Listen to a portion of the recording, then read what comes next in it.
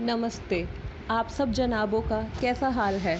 मैं फिर से पेश हूँ आप सबके सामने, जहाँ मैं लेके आई हूँ एक फिर से नया टॉपिक आज हम बात करेंगे इस विचारधारा पे कि कभी हम रेडी हो जाते हैं।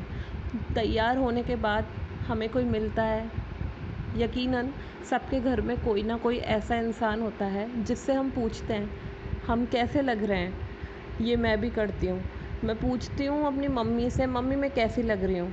और फिर मम्मी कहती है, तू अच्छी लगती है। और कई बार मम्मी ऐसे भी बोल देती है, नहीं नहीं, ये चेंज कर, ऐसे चेंज कर। तो हर कोई हमें एडवाइस देता है, लेकिन मुझे एक दिन ऐसा फ़ील हुआ कि मैं खुद भी तो जज कर सकती हूँ मैं कैसी लग रही हूँ। क्योंकि हमें मतलब मम्मी इस पर्सपेक्टिव से देख रही है कि वो मुझे प्यार करती हैं तो फिर वो मुझे उस पैटर्न में देखेंगी। तो वो मुझे हमेशा ऐसे कहेंगी कि हाँ तू हमेशा अच्छी लगती है।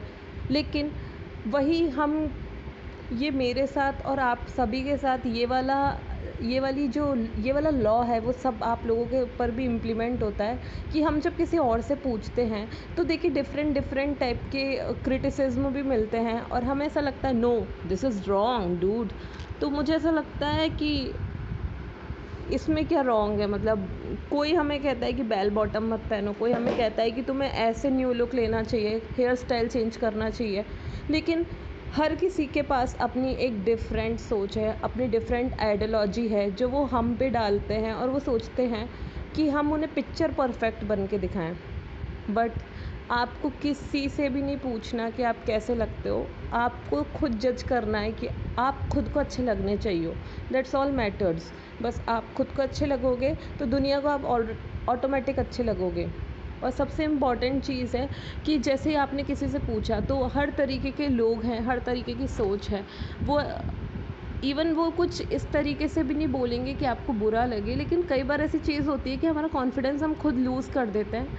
जब हम किसी से पूछते हैं, क्योंकि बाई चांस आप किसी फ़ंक्शन में जा रहे हो, और बाय और आपको कोई मिल गया और उसने कहा, आज तो कितना पतला लग रहा है। अब डूड आपका तो कॉन्फिडेंस लो हो गया ना, क्योंकि आपको ऐसा लग रहा है कि आप पतले लग रहे हो एकदम, या फिर कोई कह देगा, ये कि टाइट कपड़े पहने हैं?